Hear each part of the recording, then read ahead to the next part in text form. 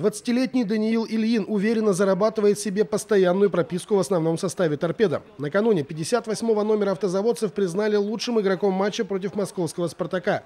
Но перед тем, как победитель Кубка Харламова взял очередные очки, для его команды все началось с холодного душа, а точнее сказать, с осечки за 2 секунды до окончания первого периода.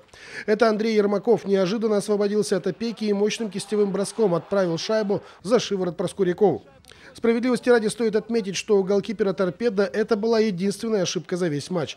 А вот вся его команда после такой пощечины на второй период вышла по-спортивному озлобленной, и это привело к граду голов.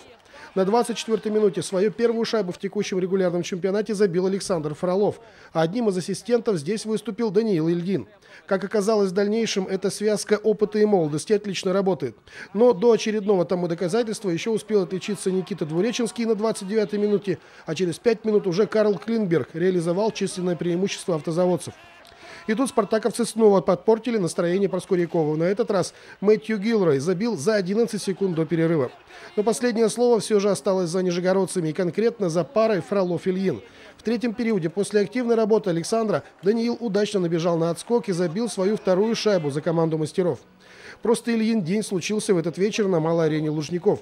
Кстати, еще в начале встречи торпедовцы остались без своего ведущего центр-форварда Владимира Галузина, которому не понравилась чрезмерная активность Кейси Уэлмана. Выяснение отношений завершилось кровью на льду и удалением автозаводца до конца игры. Но и без его нижегородцы размазали красным по льду и разом запрыгнули на третью строчку западной конференции. Григорий Жигин, объективно, ННТВ.